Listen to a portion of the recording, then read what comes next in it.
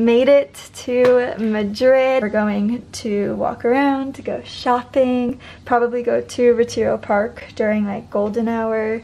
We love Retiro Park. And then go to dinner at our favorite Italian place and it's in Madrid. So random. Just now we walked around and Brian got, he loves jamon iberico. I definitely say that, so American, but he loves it. So we went to this like little market where he got his ham. I was um a little uneasy from being there. We went to the bank to take out some euros, usually just like the best exchange rates to do it at at an ATM once you're at your destination.